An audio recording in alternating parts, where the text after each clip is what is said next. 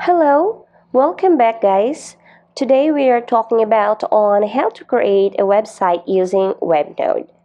So, to start on our phone, laptop or computer, open our browser and at the address bar just type webnode.com. Alright? So let's type web webnode. Okay. Let's type again webnode.com. Alright. So now, as you can see, you are now in the website of the webnode and to start creating your website, over here, there is a blue tab, create a website, just click it. And now, to create your website, you have to enter the name of your website. Let's say, for example, our website name is Beauty Hub. All right. So now let's go to registration. Let's register our website through Facebook, Google, or through our email. So let's say, for example, we're going to register through our Facebook account. So let's continue. Click continue. And now you can now have the choices over here. So what type of site do you need. So you're going to choose whether you're going to create a website or an online store. So here, as we are going to create a website, we're going to, of course, choose a website.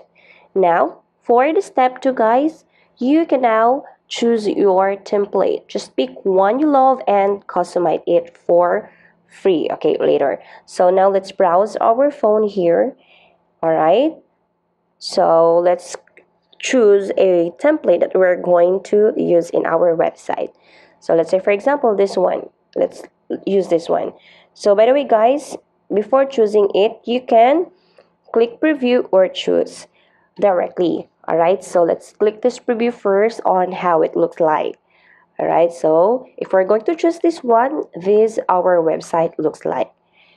And now if we already decided if we're going to choose this just click this choose template at the upper right part of the screen alright so click it and please wait. Your website is almost ready. Please give us a second and enjoy your brand new website. Alright so by the way guys the good thing of a Webnode is you can save money and time because you don't need a developer to build a beautiful website. And of course, you can also create and update your website using your tablet or phone anywhere you go.